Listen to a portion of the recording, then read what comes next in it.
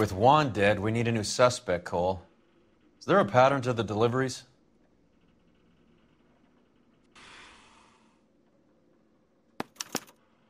This guy EJ seems to be bringing in most of the serious weight. The dates and times seem pretty regular. We should notify the border crossing.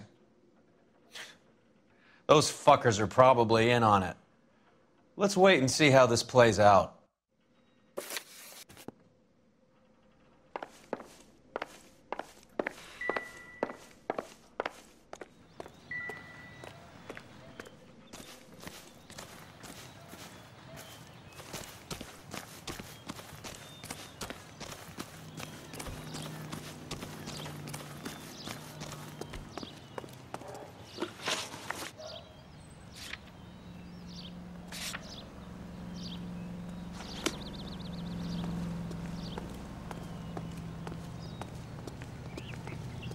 You can drive.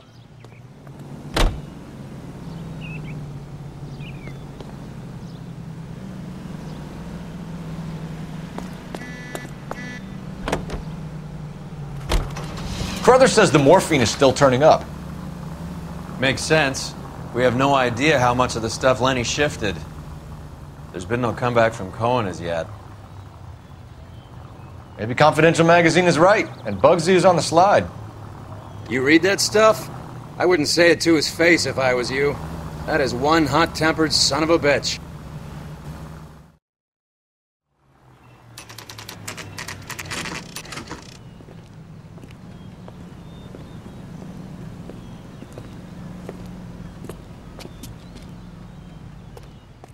Right.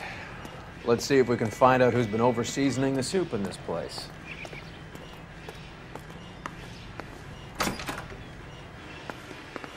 LAPD. Who owns this factory, ma'am? Mr. Parnell. Howard Parnell. I'll let him know you're here. Please, take a seat. If you don't mind, we'll come with you. If you must.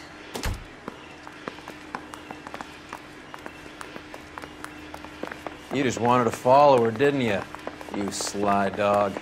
I must apologize for my partner's roving eye. He hates saying goodbye, but he loves watching them leave. Give it a rest, Roy. If you could show these men in to see Mr. Parnell, Doris. They're from the LAPD. Follow me, gentlemen. What is going on? LAPD, sit tight, fatso. You could be in very serious trouble. There's no reason to be rude. Take a seat, gentlemen. I'm sure we can sort this all out. Maybe you can explain why we found $5 bags of marijuana in sealed Parnell soup cans. That's an outrageous allegation. How do you explain it, Chubby? We found at least 30 cans, all sealed up tight with your label on them. Can I get a list of your employees? Of course. We have nothing to hide. Doris, can you bring me in the current employee listing?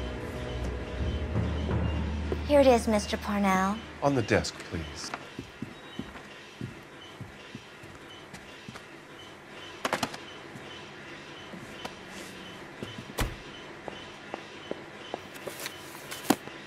Any name on that list that rings a bell?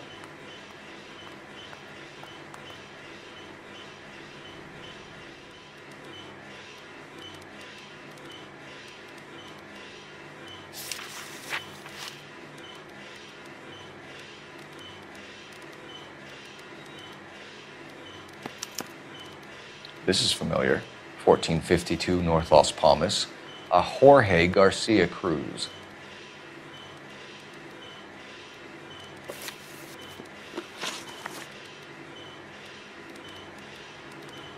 The factory sealed cans we found suggest a very professional operation, Mr. Parnell.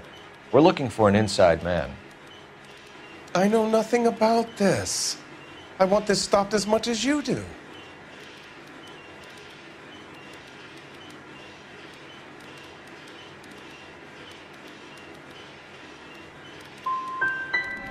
You must suspect someone, Mr. Parnell. Are you sure it isn't someone who stole some of my labels? That would be pretty easy to do. How are your sales, Mr. Parnell? Just fine and dandy, son. We're entering a new era of prosperity. I hope you're both big soup eaters. Mr. Parnell, do you know what kind of trouble you're in? Come clean with us. Okay, so things are a little flat. We're deciding whether to lower production. It's taken a while to adjust to not having any military contracts. You know, we sold Uncle Sam five million cans of minestrone. Ever heard of Juan Garcia Cruz? Not that I know of. He has a brother employed here. You know him? Uh, We employ large numbers of Mexicans. I, I'm not familiar with them all.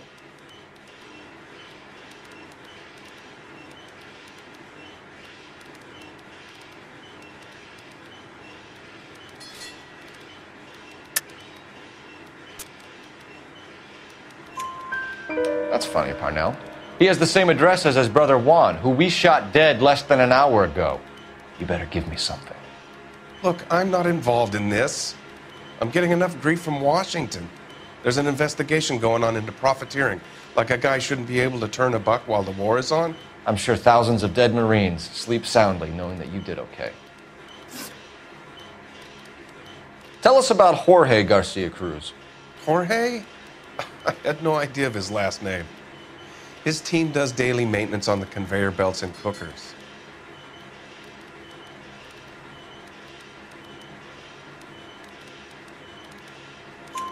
So he's here now? No, maintenance is at night.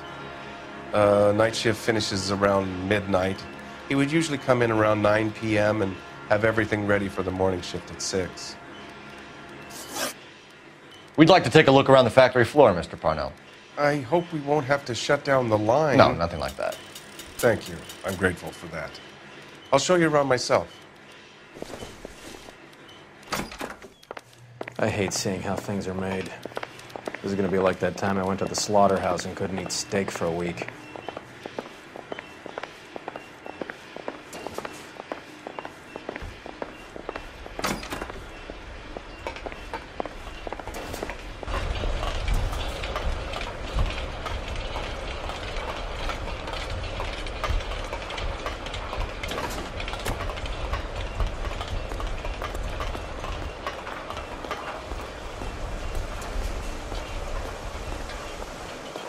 This is where the produce comes in.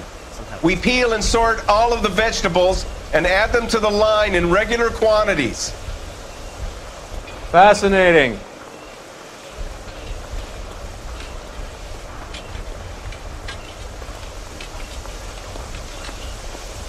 Why don't you keep quiet? Might learn something. Oh, good God. This really is turning into some nightmare school trip flashback. Seems like a decent guy. Wow, that sure looks like a beauty.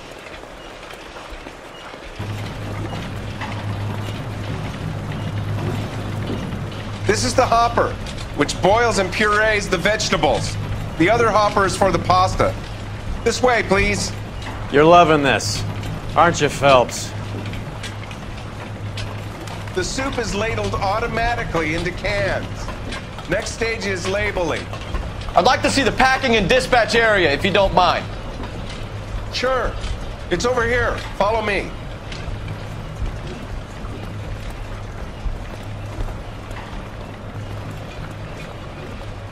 This is one of our dispatchers. Sergio, right?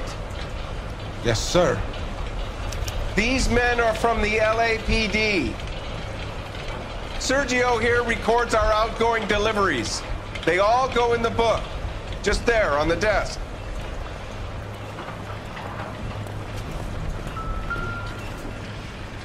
We're looking for repeat business in large amounts, Cole.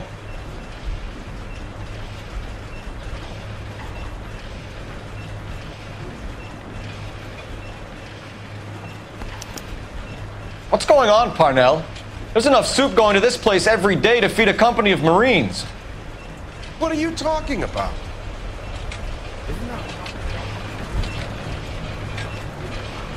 I'd like a private word with your dispatcher, if you don't mind. Sure, go right ahead. I'll be over here when you need me.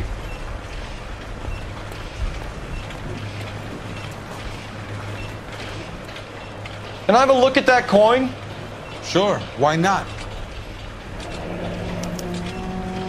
Silver dollar, right? Yeah, that's right. The markings on it say it's been taken out of circulation. Maybe. I'm not trying to buy anything with it. I like it. Brings me luck.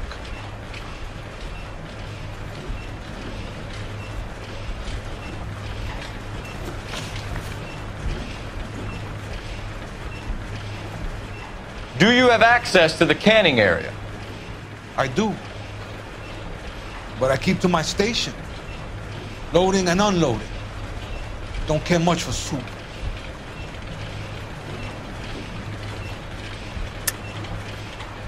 Stop lying to me. I think you are muling the dope across the border. I'm a simple working guy caught up in the middle of all this. You're crazy if you think you can prove I drive the truck for these guys.